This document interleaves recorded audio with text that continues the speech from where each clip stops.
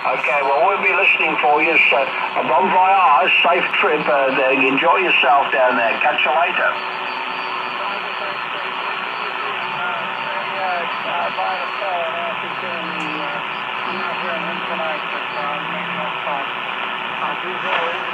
This guy's name's Ed. Thanks uh, for your patience. there. This is Dave in England. To you, Eddie sends his best to you, uh, Paul. Bye-bye. Well, it's Jack. Good to talk to you, Ed. See ya. Ed. Heading to Miami. Ed is Well, there you go. Uh, back to you, Jack. KN4WP. Jackson. Yeah, I was talking to you. Probably a kick out of this. I was talking to the Paul. Listen to his transmitter. 3785. We talking pretty early. He's got a nice nobody rig. Much. Then the guys down 30, 37, 80.6. They were 4.4 below us. I say?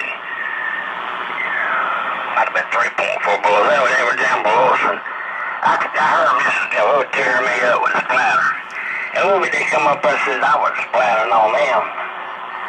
So I told them, I'll cut my power down to 200 watts. So I cut my power to 200 watts. They never cut down, down not one bit. They, Well, that's the same group as I. I was on there, only two KCs away from them, and I said, "Oh, sorry, lads, come up and join us with two KCs higher." And they said, "Oh no, we always have a group on here every night." I said, "Well, come and join us." They said, "No, no, no." I said, "Well, if you don't want to join, you have to move down there. Move down one KC then." And they said, "We can't do that. We can't move down one KC." I said, "Why is that?" They said, "Because the members of the group will not be able to find us." when I cut my power down times to what I was running, and cut the, and I also cut the mic gain down a good bit. They never cut this down a bit.